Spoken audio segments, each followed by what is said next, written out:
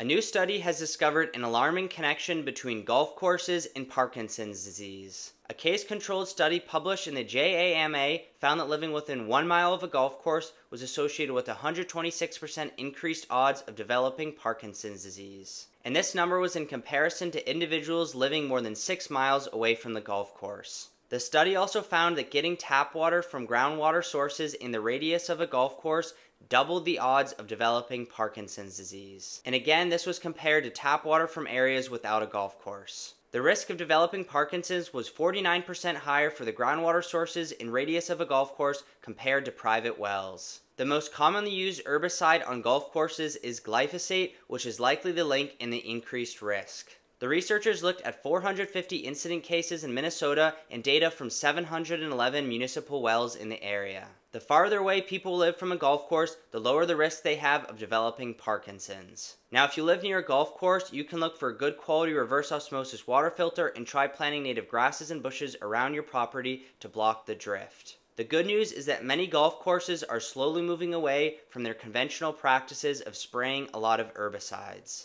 I've been speaking with a number of courses that are practicing integrated pest management and planting native grasses and flowers. This is something I would recommend you speak with local courses about since it can actually decrease their costs and help them qualify for grants.